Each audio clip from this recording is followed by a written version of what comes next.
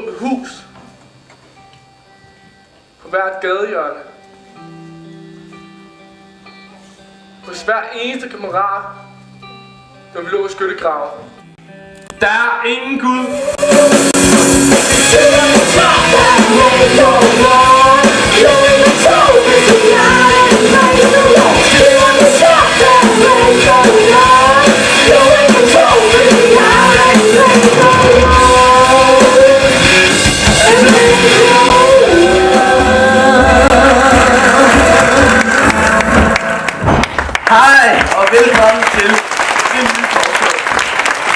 Navn er Anders Lund Madsen, og jeg er en meget, meget, meget stor mediestjerne. Hvad er Gustav? Har I også nogen i Sverige? Det siger du.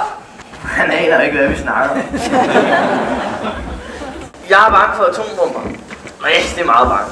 Og i haserne på atombomber løber bioteknologi, og den løber løbsk. Også fordi den er så simpel, og den bare bliver simplere og simplere. Om 10 år vil en hver begævelse også kunne mixe sin egen virus ned i kælderen. Og det stats er virkelig svært at kontrollere.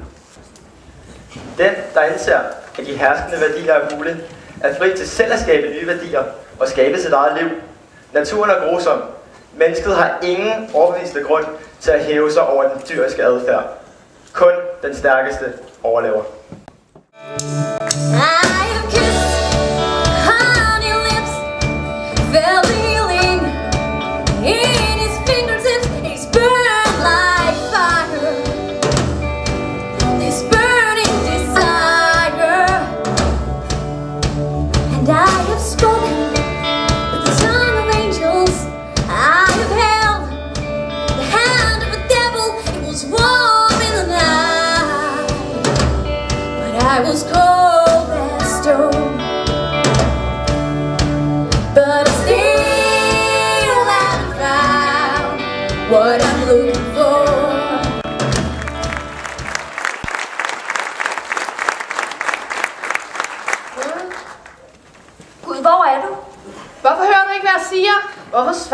svarer du ikke?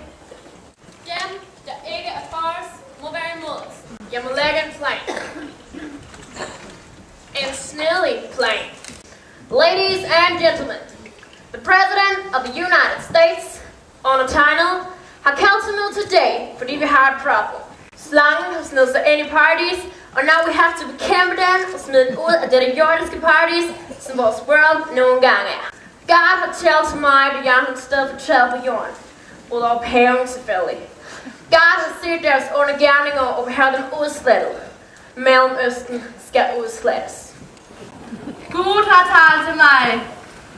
De hvide hunde, der lader deres kvinder tale i befolkninger. I ved, hvem jeg taler om. so beautiful you would have to search around the world just to find a girl quite like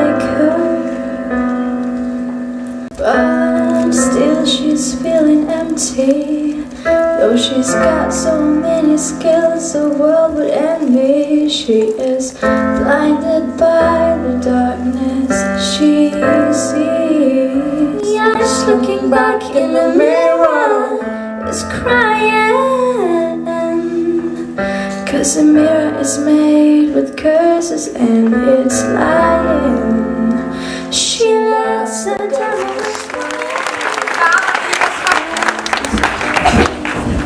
Jeg gider altså ikke have gå udenom den vandpyt nu. Vi skal altså høre efter, hvad mor siger, for mor har travlt, så skynde sig på arbejde. Så skal jeg til fitness. Så kommer jeg og henter jer to fem. Faktisk. Nu Maria, kom så. Mor, kan vi godt spille spil, når vi kommer hjem? Mor, vi skal være til skole. Hej ja, ta av dine sko. Hvad siger du? Han bedte om til skoene af. Vil du være venlig at gå på toilettet og skifte din barns blæk og tømme din barm?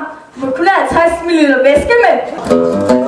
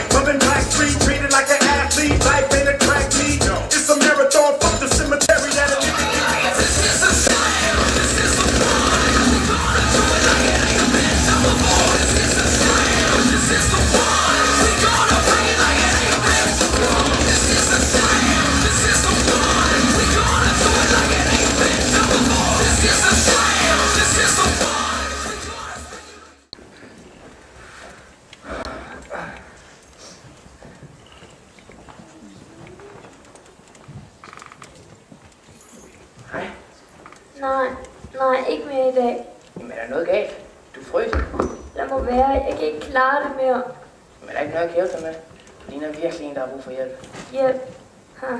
Alle danske mænd vil det samme. I kan være søde og rare, men det hele handler om sex. Nej, nej. Jeg kan bare gå forbi. Jeg ved godt, det her er Istegade. Men jeg har bare for hjælp.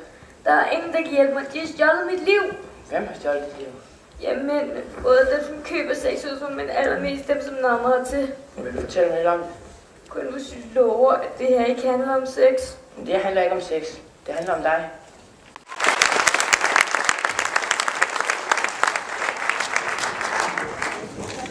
Har du nogle penge til en hjemløs? Nethus? Ja, det er det. Hvad synes du om det? Det er lige meget, hvad jeg synes. Jeg får alligevel aldrig sådan noget. Men jeg vil elske Aid. Som du siger, det er lige meget, hvad du synes. Derfor gider jeg egentlig ikke spilde min tid på dig. Ha' det godt. Sikke en selvisk nar. Jeg vil elske eget hus med varme og en seng, men det vil aldrig lykkes for mig. Det er ikke retfærdigt, at han har et sted, når jeg ikke har et sted at bo, og han har penge til et hus. Men intet overskud til hjemløs. Jeg er som sådan. Ah. Han kan jo gøre sådan noget over, over for mig. Jeg giver penge og en ny bil, og så er det ens tak. Nu står jeg tilbage med min million til en krone. Det er slut.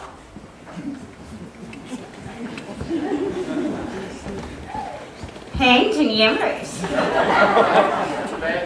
Det var dit ark, Hvorfor? fordi jeg vil have den. Nej, nej.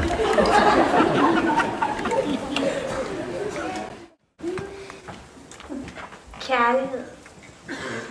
Det er ikke noget, man tænker. Kærligheden, den lever. Hvad mener du? Kærligheden, ikke? Den er sådan indrettet, den ikke kan stå stille. Den er nødt til at vokse, for ikke at blive mindre. Hvad mener du? Kærligheden, ikke? Den begynder der, hvor der ikke forventes gengæld. Gengæld? Ja, gengæld. Kærligheden, den tåler alt, den tror alt, den håber alt, den udholder alt. Alt? Ja, kærligheden, ikke? Den hører aldrig op. Aldrig? Nej. Størst af alt, ikke også? Det er kærligheden. The lights go out all around me. One